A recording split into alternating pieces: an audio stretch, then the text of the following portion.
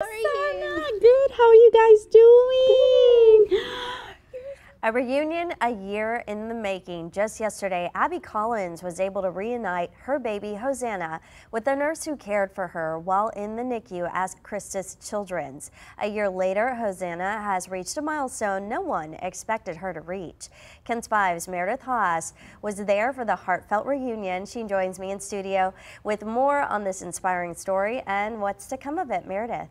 Yeah, Abby Collins never thought having a happy and healthy baby would be a reality reality.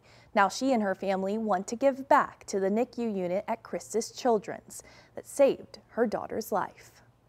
The first thing that came to me is like, is she going to survive? The second Hosanna Collins was brought into this world. She was fighting for her life. Seeing a three pound baby, she fit in my hands. Like she was so tiny, she fit in both of my hands. Her mother Abby gave birth two months premature on August 11th 2023. It was her and her husband Victor's fourth girl. We want to be the one to protect her and feed her. And when she's early, you can't. I blamed myself, and I think that that's something that NICU parents go through, uh, our, us as mothers.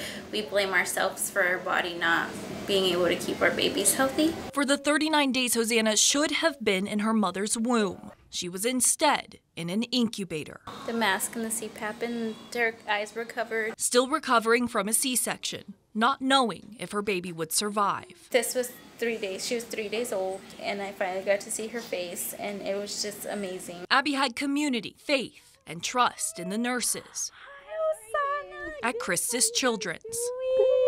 You're such a big girl. Reuniting a year later in the same place Jennifer Martinez cared for not only Hosanna, but Abby every day. I saw her crying. That's hard for me to see, so just being showing them compassion i think uh, helps them. Now abby has a plan to give back. When she was in the nicu reading was a big thing for us. I would just sit in the chair hold her and read her a book. She set up a wish list on amazon for anyone to buy books for families in the nicu. So i just want to give back to the hospital that did so much for us. And you made an impact on my life as well oh. so thank you. Oh you're so sweet. You are so sweet now go ahead and scan the QR code on your screen to get to the Amazon page where you can purchase a book for the hospital. Now Abby plans to deliver these books with her family the day after her daughter's first birthday, which will be August 12th. You can also find the QR code at kens5.com.